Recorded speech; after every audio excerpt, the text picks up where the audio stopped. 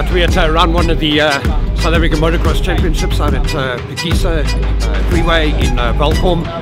Lots and lots of rain uh, this uh, last week. The circuit very, very wet, but it's going to produce uh, some good racing. We have lots and lots of international uh, riders. We've got riders from Uganda, we've got riders from Zambia, from Zimbabwe, from Swaziland, and it's great to have Neville Bradshaw, uh, a former world uh, champion, and also many, many times a British and Commonwealth uh, champion, actually uh, racing uh, the South African Series today on the Tswana Yamaha. So lots and lots of action. The 1 and 5 high school class is stacked. We've got 30 riders, and it certainly is going to be the premier class. And these uh, youngsters, and with the track the way it is, the results can go anyway. So we're in for one super fantastic day at round one, Motocross Nationals, Phakisa.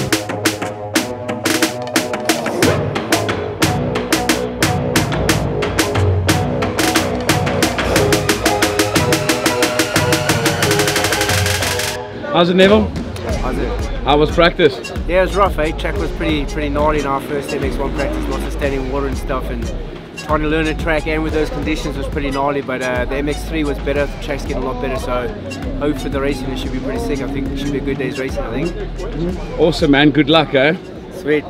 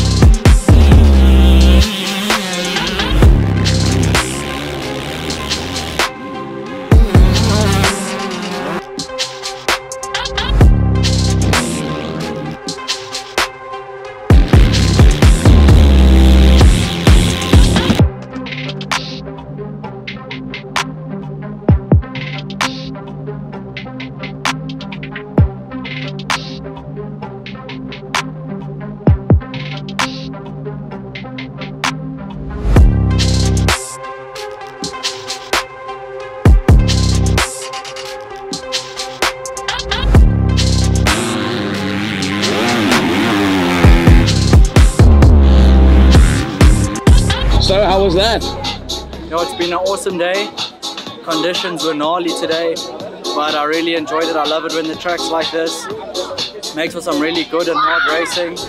250s, managed to get the holeshot in both motos and uh, bring it home. 450s had to work for it, both motos got bad starts, but managed to come through the pack uh, and win. And yeah, it's my first out of four, so really, really stoked about that. Four for four, bro. Congratulations, man. That's amazing, eh?